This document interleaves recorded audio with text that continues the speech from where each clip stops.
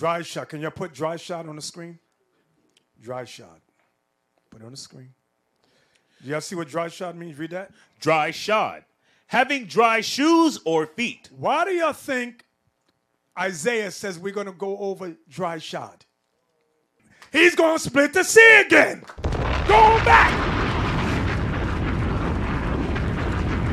Let's read it again. Let's read it again. Verse 15. And the Lord shall utterly destroy the tongue of the Egyptian sea.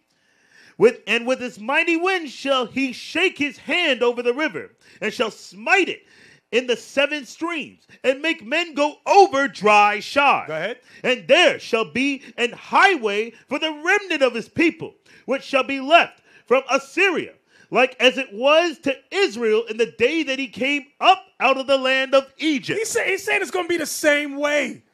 Isaiah's prophesying. Christ is speaking through Isaiah. It's going to be the same way.